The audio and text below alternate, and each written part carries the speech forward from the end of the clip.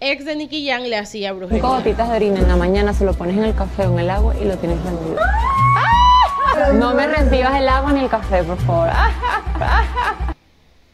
Bueno, a ver, eh, yo creo que, primero, yo creo que para mí la verdad no existe este tema de la brujería. Yo, yo no soy creyente de este tipo de cosas, de que puedan suceder o de que tengan algún poder sobre mí, sobre las decisiones que yo pueda tomar en la vida.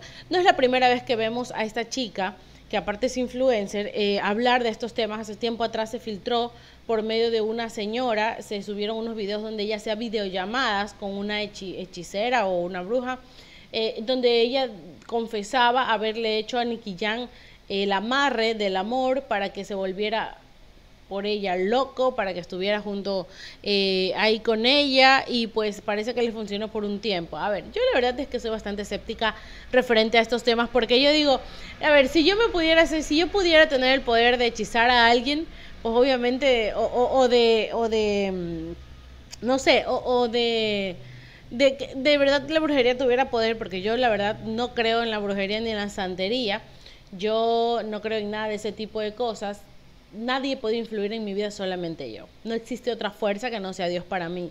Entonces, si yo pudiera o existiera de verdad, lo usaría, no sé, para que me vaya bien en mi trabajo, para que me, me, pueda esclarecer la mente y pueda hacer mucho dinero, no sé, para otras cosas, para mi beneficio, pero usarlo con hombres como que no. Tal vez usaría para las empresas de la Lotería Nacional o algo por el estilo. Entonces, ay, sí, como que vamos a hacer el amarre a la lotería para ver cuánto me puedo ganar este mes. Pero yo creo que usar estas técnicas, que para mí son bastante absurdas, eh, en hombres, es desgastarse. O sea, Nicky Young se iba a fijar en ella porque es una mujer guapa, porque es una mujer muy atractiva, como dice Rafael Correa, this is handsome, this is beautiful.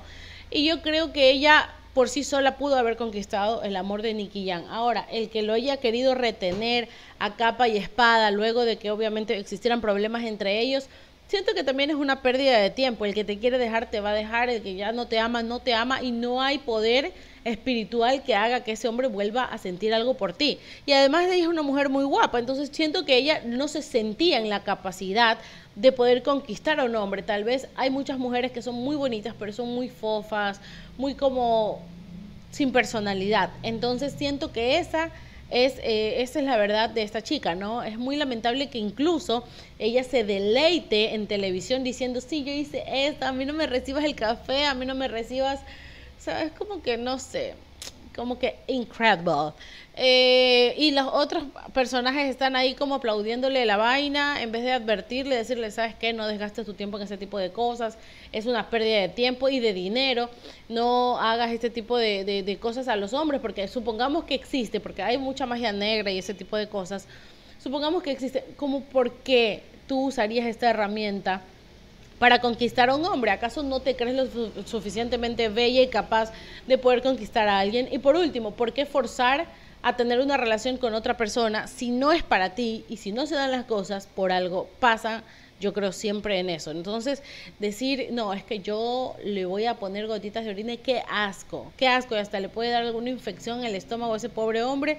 Qué bueno que Nicky Jan pudo zafarse de la locura, porque para mí es locura de esta señora que indudablemente está pasando estos tips para mí deplorables en televisión y yo no siento que este tipo de cosas deban tomarse a la ligera. Es momento ya de poder decir, bueno, esto está bien y esto está mal.